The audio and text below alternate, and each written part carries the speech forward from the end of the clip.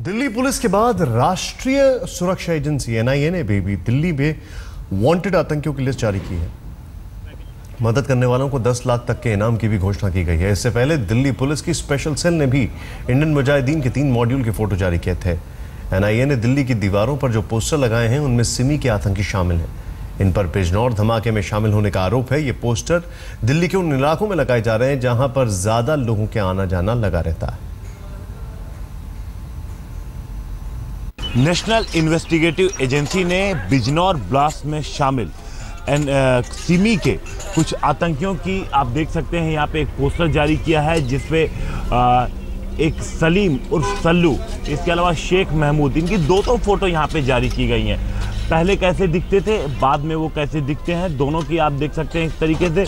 इसके अलावा अमजद खान और जाकिर की भी दो फ़ोटो यहाँ पर दी गई है, और दोनों में बिफोर और आफ्टर दिया गया। इसके अलावा ये भी यहाँ पे लिखा गया है कि इनमें से किसी की ऐसी इन्फॉर्मेशन जिसके ज़रिए इनमें से किसी की गिरफ्तारी हो सके, अगर कोई ऐसी इन्फॉर्मेशन देता है तो 10 लाख रुपए का इनाम यहाँ पे हर किसी के ऊपर अलग अलग रखा गया है और जो इन्फॉर्मेशन देगा उसे 10 लाख रुपए दिए जाएँगे और साथ ही साथ उसकी पहचान भी गुप्त रखी जाएगी। इसके पहले दिल्ली पुलिस की स्पेशल सेल ने भी दिल्ली में तमाम जगहों पर इंडियन मुजाहिदीन के तीन अलग अलग मॉड्यूल्स के पोस्टर लगा करके उन पर इनाम की घोषणा की थी।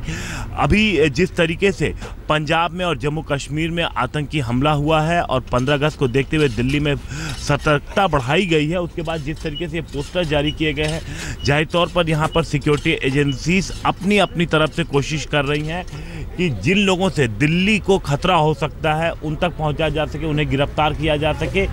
ये यहाँ पर जो आतंकियों के यहाँ पर एनआईए ने पोस्टर जारी किए थे ये बिजनौर ब्लास्ट में शामिल रहे हैं। इसके अलावा आ, इनके ऊपर और भी कई सारे आरोप हैं और भी कई जगहों पर ये शामिल रहे हैं। एन आई ए ने यहाँ पे अपने नंबर भी दिए हैं कि अगर को, कोई इनके बारे में किसी भी तरीके का क्लू देता है तो एन आई ए उनका उन्हें इनाम भी देगी और साथ ही साथ उनके पहचान को गुप्त भी रखेगी। कैमरामैन संजीव के साथ हिमांशु मिश्रा, दिल्ली, आज तक।